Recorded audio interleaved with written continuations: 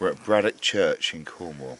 For some reason, it's really obscure, isn't it? It's a Sunday evening, and it's um, somewhere in the region of about nine o'clock.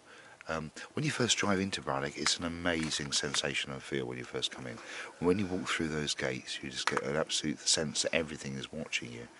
And it's hardly surprising because this ties in nicely with the the werewolf aspect down at the Valley of the Rocks that we um, filmed the other day, yesterday in fact.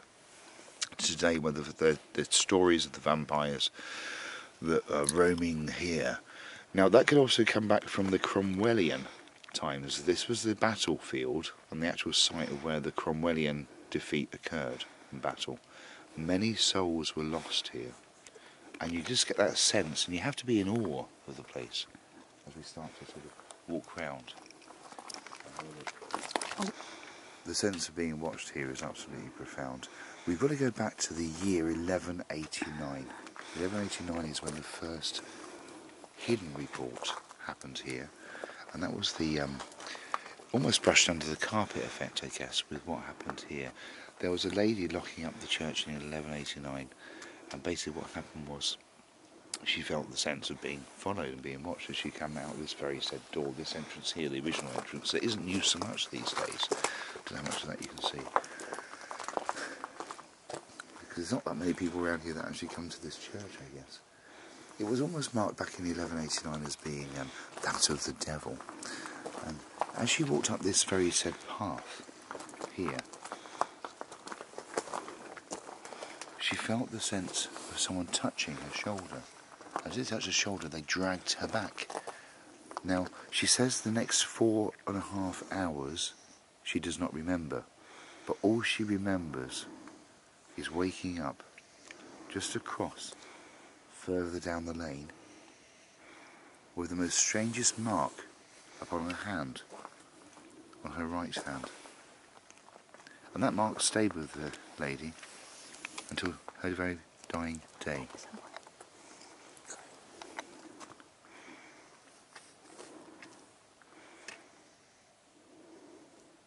So as we can imagine the stillness of the night as she's locked up going about her way and she says, walk down here.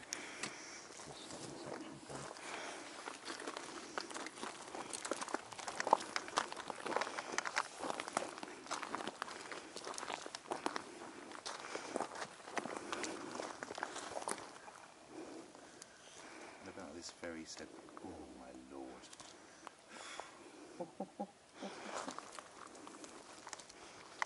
God, you have the absolute sense of everything happening here right now. You, you, it's actually quite overwhelming with the sense, and it's this very same spot that she. My arms are buzzing, my back's buzzing. It's just the most amazing energy, and at this very same spot is exactly where Ann was literally claims that the hand on the shoulder touched her, and the rest she does not remember those next four and a half hours, apart from the mark Ann Trottman, T R O T T M A N, 1189.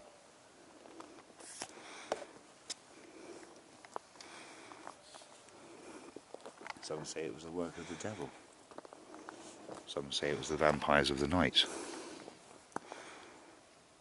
Or was it still the said werewolves, as it was mentioned over at the Valley of the Rocks? Whatever it was, one thing's certain that here doesn't have any sense of good feeling. He has a sense of most um, darkness and the sense that at any moment you can be pounced upon and lured.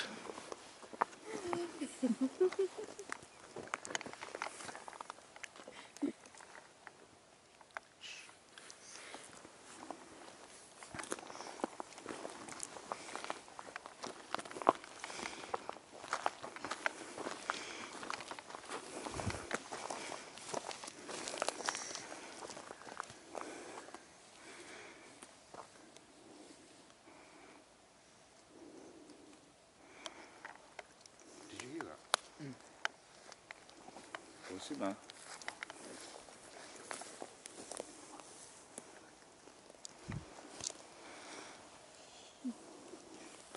Did you hear that? Yeah.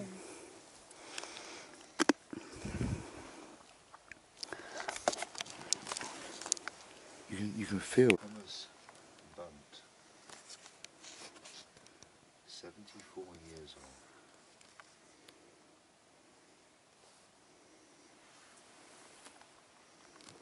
interesting.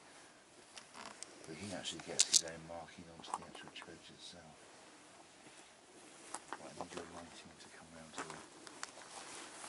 Mm -hmm.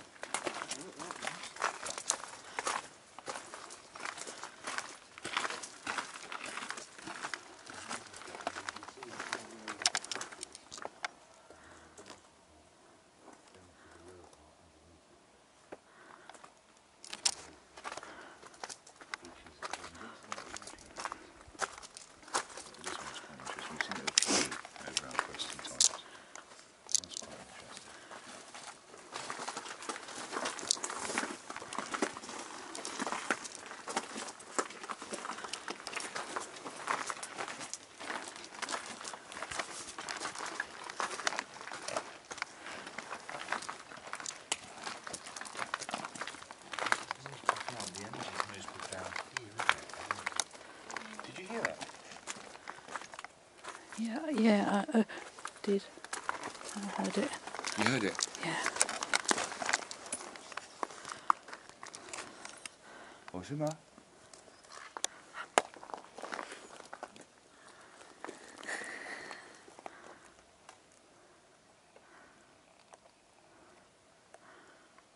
Did you hear that too? Yeah.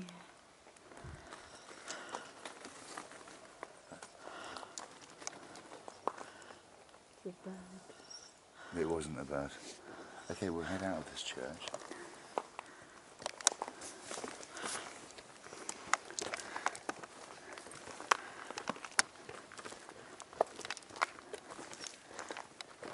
Are you getting, the, you getting this, Simon? Yes. Good.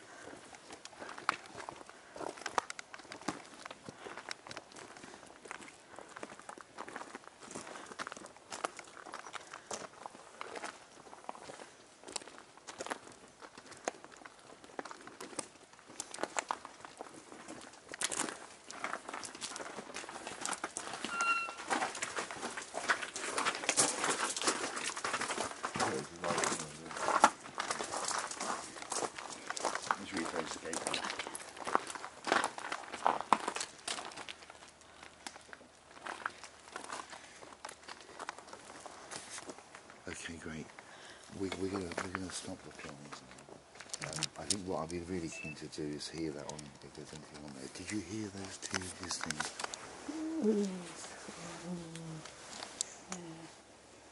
Negative energy, um, which was more than anyone should muster really at that point in time. We had two, for me personally, I, um, and I'm sure you all heard, we had two distinct warning signs. And at those warning signs, you think, well, that's now time to leave. Um, so that confirms the myth and legend in my book from what I've just experienced in there. And I hope when we roll back these this this recording, we get to see exactly what it was. Um, that just confirms to me that Braddock Church is very, very interesting indeed. Um, probably to be avoided at certain points of night time, that's for sure certain. Um, and certainly to be visited and probably explored more at any time in the daytime. Sadly, we won't have that other opportunity now. But um, on a future quest, if we're down this way, we will make sure we come back to Braddock Church in daylight to have a good look at that.